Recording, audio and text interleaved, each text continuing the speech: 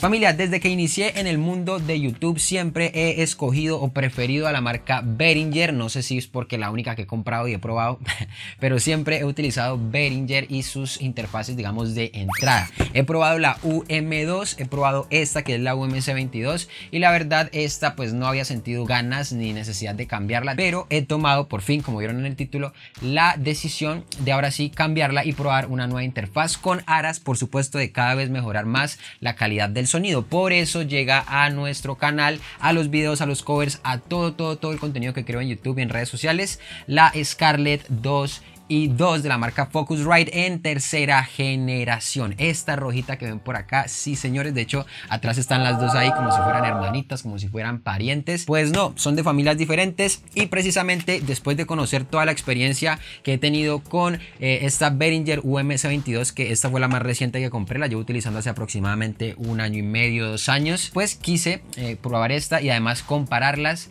en este video. Así que esto es básicamente un versus. Puede llegar a parecer una comparación un poquito injusta debido a la diferencia de precio que hay entre estos dos aparatos que en realidad es bastante. Esta interfaz UMS22 de Behringer está costando alrededor de 300 mil pesos colombianos, unos 85 dólares americanos, conviértanlo a la moneda de su país. Y esta Focusrite 2 y 2 de tercera generación está ahora mismo en alrededor de 700 mil pesos colombianos, un poquito más.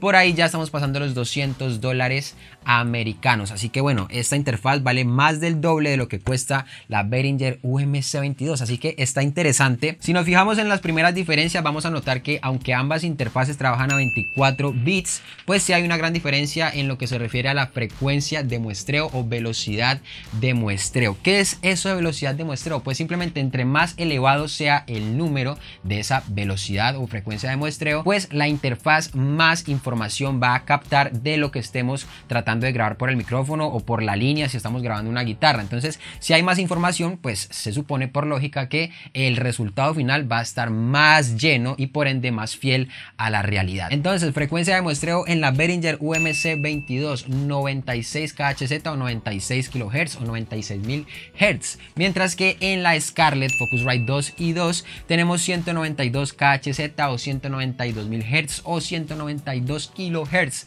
Es todo lo mismo. Si se fijan, pues esta prácticamente tiene más del doble en cuanto a esa característica de la velocidad de muestreo. Ya me estoy enredando con todas esas palabras raras. Cabe resaltar que si bien las interfaces tienen esta capacidad diferente de trabajar a cierta frecuencia o velocidad de muestreo, pues finalmente el único que va a decidir a qué frecuencia grabar es uno mismo en la configuración de su programa, ya sea FL Studio, Audition, Pro Tools, lo que sea. Si les comento en cuanto a estándares en el aspecto del audio como tal, de grabación de sonido, el estándar es de 44100 Hz. En la parte audiovisual, cuando se va a trabajar sonido para video, el estándar es de 48000 Hz. Como pueden ver son valores mucho más bajos, pero son los estándares y son con los que casi todo mundo trabaja. Ahora, necesitamos una interfaz que tenga la capacidad de grabar a esas cifras tan altas de velocidad de muestreo o en realidad es innecesario, pues eso ya depende del trabajo que quiera hacer cada uno, si quieres archivos de demasiada calidad y si además tienes la memoria, discos duros y todo esto suficientes para guardar archivos tan pesados que son los que te va a arrojar una interfaz grabando en esa velocidad de muestreo tan alta, pues entonces adelante si es una gran diferencia tener esa cifra. De lo contrario, si vas a trabajar en valores estándar, en realidad no hay mucha diferencia. En el aspecto físico, ambas están muy muy bien construidas, no hay mucha diferencia en cuanto a calidad, digámoslo así, de controles. Sí, tal vez un poquito, obviamente está mejor construida la, la Focusrite, pero es, digamos, muy poco notable o no hay una gran diferencia. Pero sí, por supuesto, esta nos ofrece más controles, digamos, más botoncitos para mayor comodidad o para, digamos, manejar cosas más fácilmente. Entonces aquí tenemos una perilla especial para controlar el volumen de nuestros monitores, refiriéndome a los parlantes, digámoslo así, que tengo por acá atrás. Y tenemos por supuesto la perilla especial para el retorno de los audífonos. Esta únicamente tiene el control para los audífonos y no cuenta con la perilla para graduar la ganancia pues de nuestros monitores de estudio. Aparte de eso, pues por supuesto esta tiene dos entradas que funcionan tanto para eh, micrófonos XLR como también para eh, conectar un cable de guitarra, digamos un jack normal. mientras que esta solo tiene uno para XLR, que al mismo tiempo funciona también para el jack, pero el otro pues simplemente funciona para jack, ¿ok? Para cable, para línea. Entonces hay una pequeña diferencia también que bueno, no es tan pequeña, puede llegar a ser bastante útil tener dos entradas para micrófono XLR. Y aparte de eso tenemos unos botoncitos en la Focusrite que por supuesto no están en la UMS22. Estos botoncitos nos van a ser útiles digamos para decirle a la interfaz cómo trabajar, ¿ok? Le vamos a decir, esto es una línea de guitarra o esto es una voz. Y quiero por ejemplo con el botoncito de ir que le des más brillo a esta voz, más presencia a la voz, ¿ok? Es simplemente cositas que le, que le dan un plus para que la interfaz, digamos, trabaje mejor dependiendo nuestra necesidad. Ambas también tienen el botoncito ahí para activar o desactivar el monitoreo directo en nuestros audífonos y por supuesto algo que sí conservan igualito también pues es la entrada para los cables de los monitores que son de 6.3 milímetros o también conocidos como un cuarto y pues lo recomendable es que sean cables balanceados que de hecho yo no los he comprado ya los estoy pidiendo y los voy a utilizar pues obviamente siempre para tratar de que el sonido sea el mejor al retornar por acá y poder hacer nuestras mezclas de una buena manera. Ambas tienen su botoncito para activar los 48 voltios de poder de más que requieren y que le hacen mucha falta a nuestros micrófonos de condensador. La Behringer lo tiene por atrás con un clipcito que se le mueve hacia un lado, mientras que la Focusrite simplemente hay que hundir el botoncito que dice ahí al frente 48 voltios y ya vamos a tener suficiente energía para grabar lo que queramos. Y por último, para mi sorpresa resultó ser un poco más pequeña la Focusrite que la Behringer. Sí señores, un poco más corta en cuanto a profundidad, es más cortica, por lo tanto es más portable, se siente más pequeñita y a pesar de eso se siente muy, muy robusta, muy bien construida. Así que punto a favor por ahí. Para testear ambas interfaces vamos a hacer cuatro pruebas. La primera prueba va a ser capturando el sonido con este micrófono de condensador que tengo aquí, que es un Audio Técnica modelo 2035. Es un muy buen micrófono. También vamos a hacer un test con este micrófono de solapa o también conocido como Lavalier. Es de la marca Rode y se llama Smart Lab Plus. Es un muy buen micrófono también que se camufla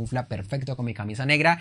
Por supuesto también vamos a hacer una prueba con línea para la guitarra conectadita normal. Vamos a ver cómo eh, reaccionan ambas interfaces y por último vamos a grabar guitarra pero con este mismo micrófono. Así que vamos directamente a cada una de esas pruebas. Les tengo que decir que vamos a utilizar efectos para el sonido final que ustedes van a escuchar pero los efectos van a ser exactamente los mismos en las dos capturas con las dos interfaces. Y por supuesto también eh, la perilla de ganancia va a estar exactamente en la misma posición. Va a estar creo que en la mitad o si no es un poquito más allá, pero van a estar en la misma posición. Ya les voy a mostrar las pruebas a continuación. Iniciamos con la prueba del 2035 en voz hablada.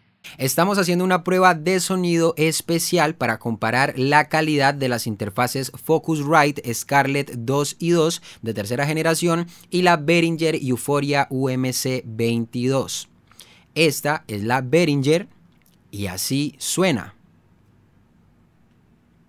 Este es el ruido de fondo que levanta.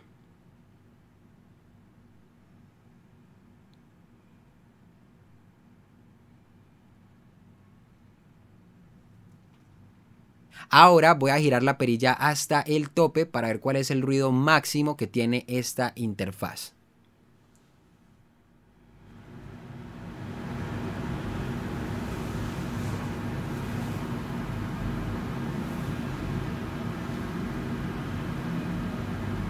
Estamos haciendo una prueba de sonido especial para comparar la calidad de las interfaces Focusrite Scarlett 2 y 2 de tercera generación y la Behringer Euphoria UMC 22. Esta es la Focusrite y así suena. Este es el ruido de fondo que levanta.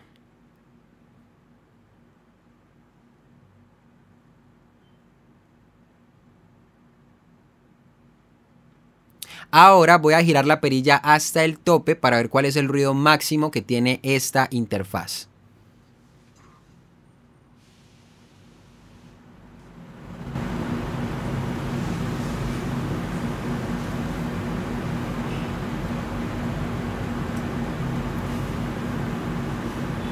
Siguiente prueba con el micrófono de solapa de Rode, que de hecho fue el micrófono que utilicé para grabar todo el inicio del video antes de las pruebas, por supuesto. Así que vamos a probar ese micrófono con ambas interfaces. Ahora estamos escuchando el micrófono Lavalier Rode Smart Lab Plus en la interfaz Behringer Euphoria UMC 22.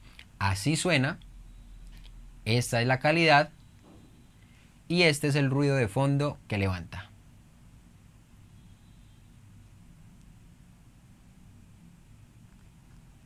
Ahora estamos escuchando el micrófono Lavalier Rode Smart Lab Plus en la interfaz Focusrite Scarlett 2 y 2. Así suena. Esta es la calidad. Y este es el ruido de fondo que levanta.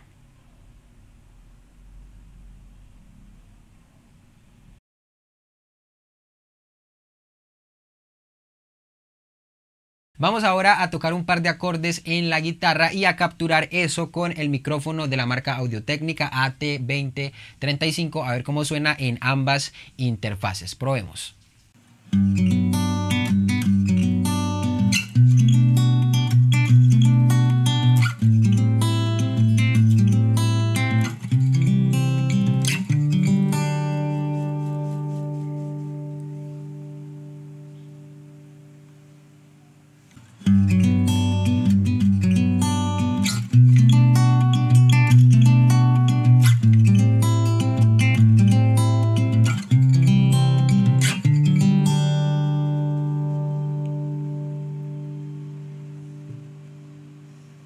Veamos ahora qué tal trabajan ambas interfaces grabando la guitarra por línea.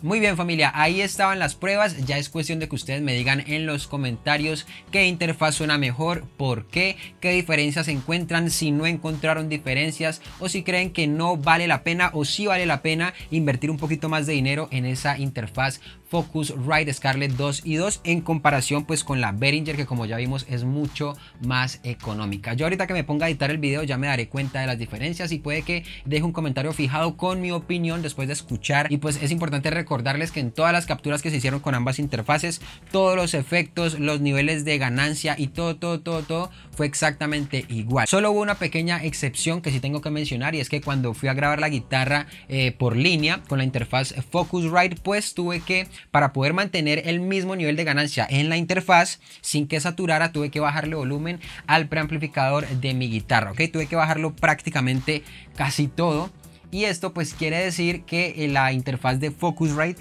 tiene una muy buena ganancia en cuanto a instrumento, ¿no? Es lo que entiendo yo. Es un punto positivo porque a veces algunas guitarras tienen micrófonos o piezos que no tienen mucha ganancia, que no agarran mucho sonido. Entonces pues el hecho de que esto lo amplifique también me parece muy muy muy genial y me parece un buen punto. Así que cabe resaltarlo y pues para que tengan en cuenta esa pequeña diferencia. Y en las pruebas de voz en la Focusrite no prendí ninguno de los dos bombillitos, ni el de Inst ni el de Air por supuesto para que fuera un poquito más justa la comparación con la Behringer que no tiene estas opciones. Hasta aquí el video, espero que les haya gustado, espero sus comentarios en la parte de abajo, un me gusta al video, una suscripción siempre muy importante. Vemos en Instagram, si todavía no me siguen los espero por allá para que estemos mucho más en contacto a través de mensajes directos. Los quiero muchísimo, un beso, un abrazo, donde quiera carajos que ustedes estén. Chao. Parece que nunca quiere, hace que no me conoce. En el fondo ella se muere, porque nuestros cuerpos se rocen. Y cuando caen las doce, me descontrola, como si estuviera sola.